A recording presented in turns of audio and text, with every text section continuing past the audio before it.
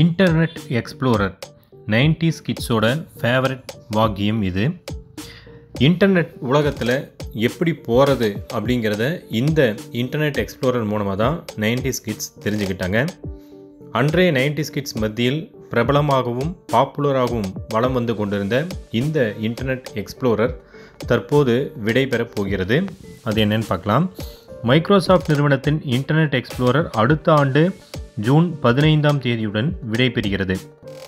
இன்டர்னர் explorer eleven ப்ரௌசருக்கு பதிலாக Microsoft edge பயன்படுத்தப்படும் என்றும் தெரிவித்துள்ளது. கடந்த ஆயிரத்தி தொள்ளாயிரத்தி தொண்ணூத்தைந்தாம் ஆண்டு ஆகஸ்ட் மாதத்தில் அறிமுகமானது இன்டர்நெட் எக்ஸ்ப்ளோரர் இப்போது கால் நூற்றாண்டு கடந்துவிட்டது.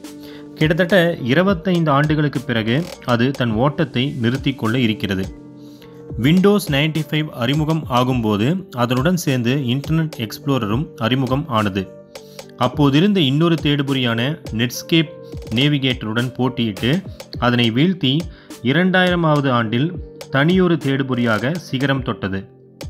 கடந்த இரண்டாயிரம் முதல் இரண்டாயிரத்தி ஐந்து ஆண்டு வரையிலான காலத்தில் கிட்டத்தட்ட தொண்ணூறு சதவிகிதம் பேர் இந்த தேடுபொறியை பயன்படுத்தி வந்தனர்.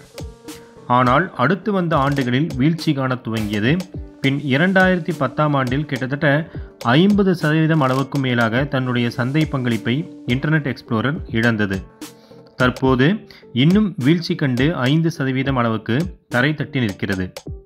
இதன் இடத்தை கூகுள் நிறுவனத்தின் குரோம் பிடித்து அது தற்போது அறுபத்தொம்போது சதவீதம் சந்தை பங்களிப்புடன் முதலிடத்தில் இருக்கிறது.